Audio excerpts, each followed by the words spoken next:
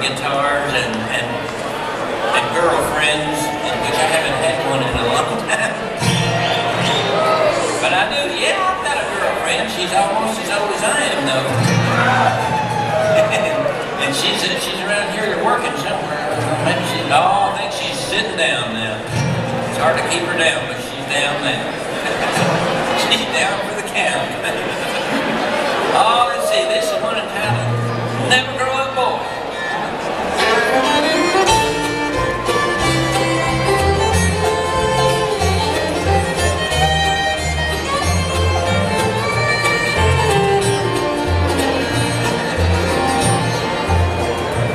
I see